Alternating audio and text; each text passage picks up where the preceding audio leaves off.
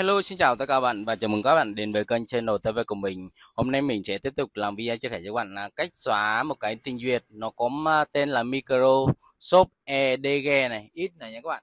Thì khi mà chúng ta muốn sử dụng các cái trình duyệt khác như là Chrome hoặc Cốc Cốc thì bật lên nó tự động nó chuyển sang cái à, trình duyệt này, nó làm mặc định luôn đấy các bạn. Nhìn rất là khó chịu mà mình à, muốn sử dụng cái à, trình duyệt Chrome chẳng hạn nha các bạn nhé. Thì video sau đây mình sẽ hướng dẫn chi tiết cho các bạn.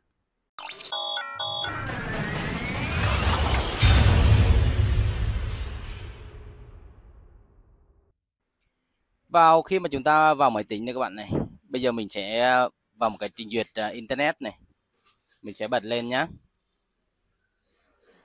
Nó tự động nó tắt đi và nó chuyển qua cái trình duyệt uh, mặc định của nó. Đây nó tắt đi rồi các bạn.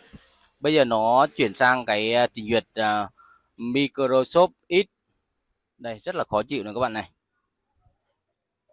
Đây là cái phần mềm của nó nhé các bạn nhé bây hiện tại thì mình đang có một cái file như này. Khi mà chúng ta tải về à, nó có tên là à, xóa micro ít nha các bạn.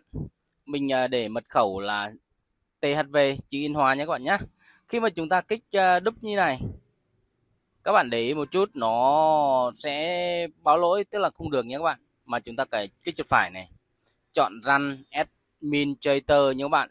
Chúng ta phải à, chạy à, cái quyền admin. Và chúng ta bấm enter để chờ nó chạy một chút chúng ta sử dụng à, cách này thì à, mới được nha các bạn nhé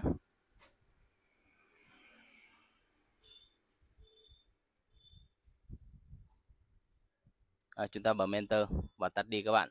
Bây giờ chúng ta vào computer. Đây cái biểu tượng nó không còn nữa chứ các bạn. Micro ít nó còn chỉ có tên nhưng không có cái, cái, cái biểu tượng nữa. Và bây giờ mình sẽ thử nha các bạn này. Đây bật vào à, internet explorer thì nó không tự động nó chuyển qua cái ít đấy nữa.